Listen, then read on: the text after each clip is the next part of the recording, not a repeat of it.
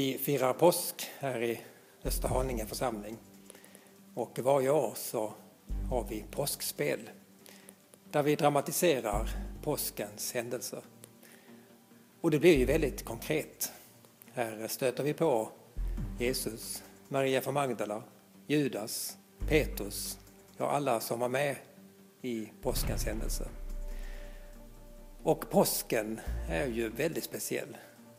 Den är konkret som helg.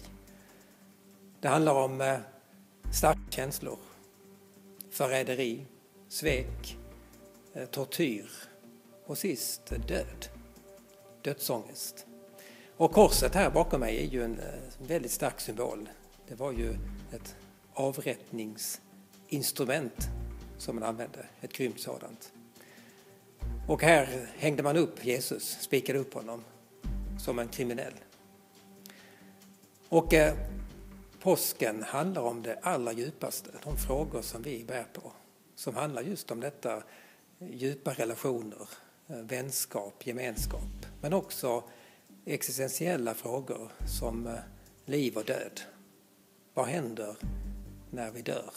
Finns det en fortsättning? Finns det ett hopp?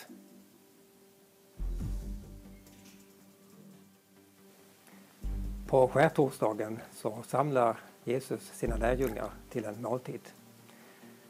Och eh, det står i Bibeln att han eh, tog ett bröd, bröt det, så gav han det till lärjungarna och sa eh, ät, detta är min kropp som blir utgiven för er. Och han tog också en bägare med vin och gav till lärjungarna och sa drick av den alla.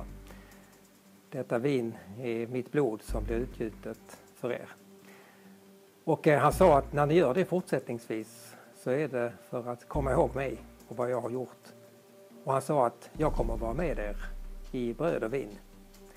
Och måltiden är ju en djup symbol för gemenskap. Vi samlas runt ett bord, vi äter, vi samtalar. Och det gör vi tillsammans med varandra och tillsammans med Jesus. Söker Jesus från Nasaret. Jaha, jaså. Om natten kommer ni som rövare med påkar och svärd. För att gripa mig kan jag tänka. Gå med. I egenskap av överstepräst frågar jag dig. Är du Guds son? Svarar inte. Var inte du som påstod att du kunde riva ner Jerusalems tempel och bygga upp det igen på tre dagar? Vilket horribelt påstående! Nå, svara oss då! Du själv säger det. Han ska komma åt dig, sittande på Gud faders högra sida. Han hedar. Vad säger ni?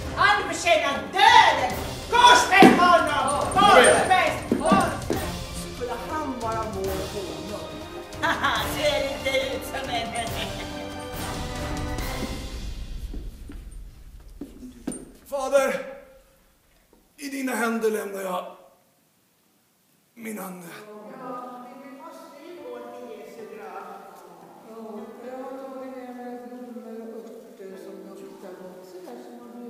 Men vad bra att du tänkte på det.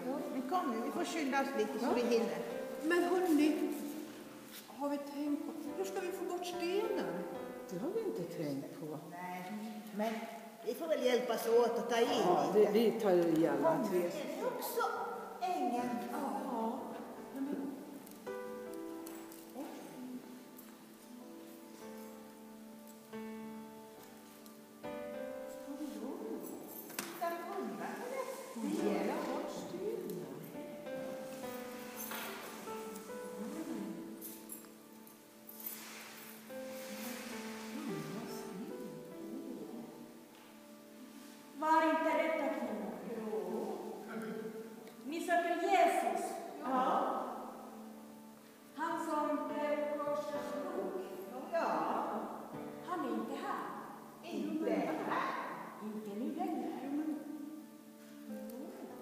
Han har uppstått från de döda. Uppstått? Titta. Där har han låg. Gå till Petrus och de andra lärjungarna och berätta att Jesus har uppstått från de döda.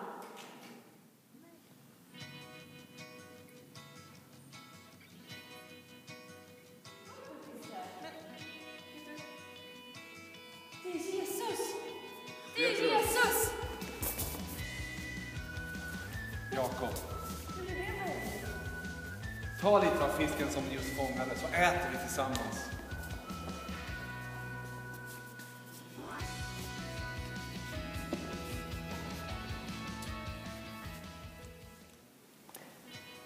Påskspelet avslutas här i kyrkan längst fram vid altaret.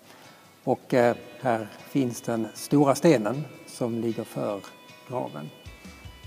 Den flyttas och kvinnorna som kommer på påskdagens morgon de möter ju en eh, öppen och tom grav. Och jag tänker många gånger att denna sten är ju en symbol för eh, saker som kan finnas i vårt hjärta och vi behöver ju försöka lyfta bort den här stenen såklart. Öppna upp i vårt hjärta för att kunna ta emot eh, ljus, gemenskap och kärlek.